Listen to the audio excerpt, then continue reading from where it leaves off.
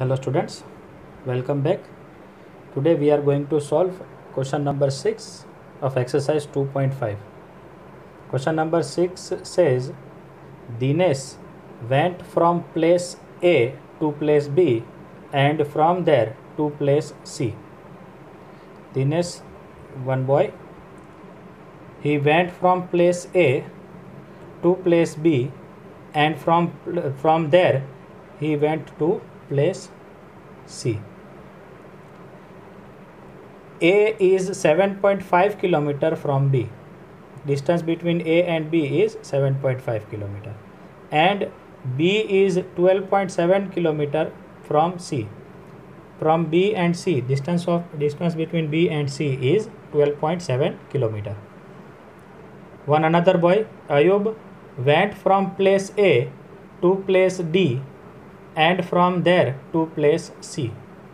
One another guy whose name is Ayub. He went from place A to place D and from there to place C. Distance which he travels D is 9.3 kilometer from A.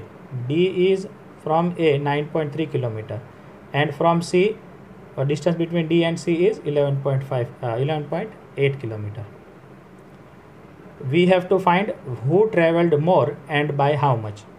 And for doing so we have to do addition of both the boys that is Dinesh and Ayub. So I will write Dinesh traveled from A to B. That means distance AB plus distance BC right? Distance BC and what is AB AB is 7.5 kilometer and BC is 12.7 kilometer. So addition of them I am doing rough here. 7.5 and 12.7 7 plus I have told you decimal must be below the decimal. 7 plus 5 is 12 1 carry 7 plus 1 8 plus 2 10 0 1 carry so he traveled 20.2 kilometers. Dinesh.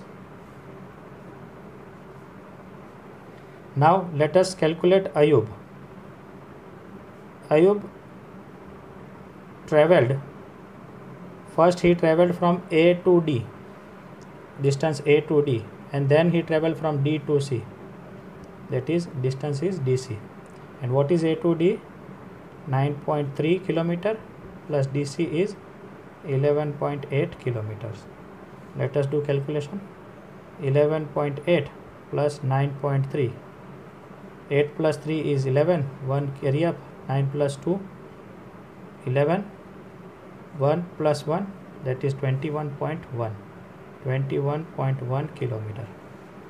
Now they have asked us who traveled more. We will write here. Distance traveled by Ayub is greater than Dinesh. Therefore uh, Ayub traveled more. Also we have to calculate how much more. So Ayub traveled traveled more by let us calculate 21.1 minus 20.2 because we have to find how much more he traveled. Here uh, 1 is less than 2 so we will carry from here. So it will become 11 minus 2 is 9 0 2 minus 2 is 0 so 0 0.9 by 0 0.9 kilometer. Ayub traveled more by 0 0.9 kilometer. So this is all for today's lecture. We will meet with question number 7 in new lecture. Till then take care of yourself stay home stay safe. Bye bye